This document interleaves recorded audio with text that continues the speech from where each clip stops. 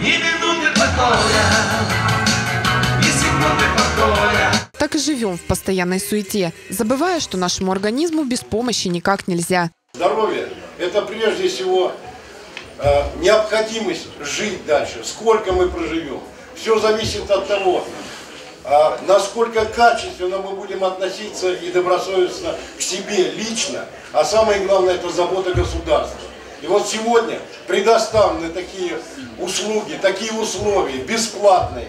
И мы это должны, самое главное, с вами ценить. Краевой день здоровья в Анапской начался с концерта. Добрые и всеми любимые песни, улыбки, хорошее настроение – первый вклад в здоровье и бодрость духа. С зарядом позитива к врачам. 20 самых востребованных специалистов проверяли состояние здоровья пациентов и давали ценные консультации. На Дне здоровья очень часто выявляются заболевания. Это заболевания сердечно-сосудистой системы, сахарный диабет.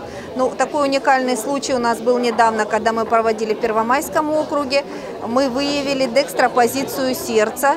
То есть это когда сердце находится не с левой, а с правой стороны. Причем человек был довольно пожилой, никогда в жизни не обращался к врачам. Выявление различных патологий и заболеваний – главная цель Дней здоровья. Нередки случаи выявления аритмии, ишемической болезни сердца. Краевой день здоровья тематический, посвящен профилактике весеннего авитаминоза. Учреждения здравоохранения соревновались в конкурсе информационных бюллетеней. Первое место заняла амбулатория города-курорта, на втором месте – медперсонал станицы Гастагаевской. Симптомы авитаминоза – вялость, сонливость, упадок сил, изменение кожных покровов. Врачи рекомендуют добавить в рацион больше фруктов, овощей, зелени и витаминные комплексы. Причем здесь необходима консультация специалиста. Не стоит заниматься самолечением. За день специалисты успели принять более 1300 жителей курорта. Кровь сдала, э, потом, что еще, кардиограмму прошла, рост и вес смерили у меня. Спасибо огромное за заботу. Все-таки часами не стоять в поликлинике, а тут